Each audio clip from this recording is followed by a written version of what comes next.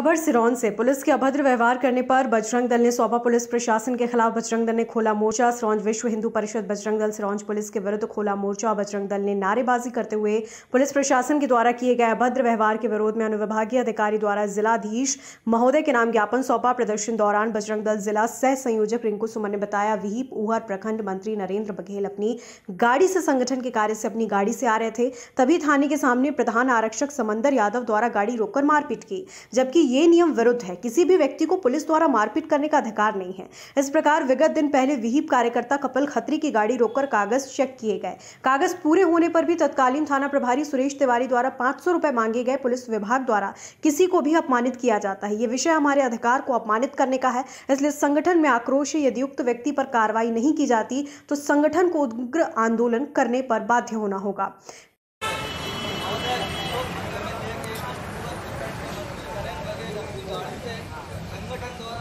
से अतियुक्त व्यक्ति पर कार्रवाई नहीं की जाती है तो संगठन को उग्र आंदोलन करने के लिए बात होना पड़ेगा। अतः आपसे अनुरोध है कि समंदर सिंह यादव को तत्काल निलंबित कर उचित दंड दें। विश्व हिंदू परिषद बजरंग दल सरोज जय जय श्री राम। पुलिस प्रशासन होश में आओ होश में आओ होश में आओ पुलिस प्रशासन होश में आओ पूर्व हमारे कार्यकर्ता उगर प्रखंड के प्रखंड मंत्री नरेंद्र जी संगठन के कार्य से सरौन जा रहे थे, उसी समय किसी मंत्री प्रोटोकॉल के लिए जा रहे थे।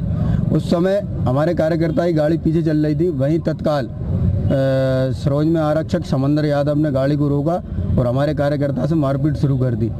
अब मैं दिनों पूर्व एक कार्यकर्ता किसी दूसरे अन्य व्यक्ति के यहाँ कार्यकर्ता था वो अपनी पोटली मतलब दिन भर में वो कमाता था और अपने परिवार का भरण पोषण करता था। उसकी गाड़ी तत्कालीन थाना प्रभारी सुरेश तिवारी द्वारा गाड़ी रोकी जाती है। उस गाड़ी चेक करने के बहाने से गाड़ी रोकी। गाड़ी पे नंबर संपूर्ण होने के बाद, पूरे डॉक्यूमेंट से सब कुछ होने के बाद भी पाँच सौ रुपये की डिमांड की जाती है। ये कहाँ तक उचित है? मुझे ऐसा लगता है कि इसमें कुछ वरिष्ठ अधिकारी भी लिप्त हो सकते हैं। राम रघुवंशी महोदय के द्वारा यहाँ भ्रमण किया गया था। उनमें पायलटिंग में प्रधान शिक्षक समंदर सिंह यादव लगा हुआ था। समंदर सिंह उस प्रोटोकॉल के अंदर नरेंद्र बघेल निवासी ऊहर का अंदर बाहर आगे पीछे जा रहा था, जिसके वाहन को रुकवाकर एक तरफ़ खड़ा किया गया था। बाद में उसको समझाइश देकर रवाना कर दिया गया था। कागज़ मौके पर नहीं थे। इस कारण पाँच सौ रुपये की जो रसीद बनती है उसके लिए बुलवाया गया था उसके लिए। चालान चालान काटने के लिए।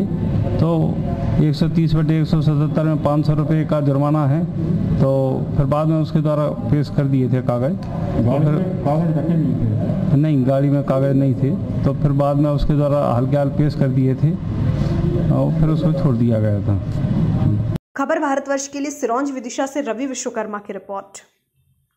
अपने शहर, अपने प्रदेश की ताज़ा खबरों के लिए लाइक करें, शेयर करें, सब्सक्राइब करें। और हाँ बेल आइकन दबाना ना भूलें, क्योंकि खबर हमारी फैसला जनतंत्र का।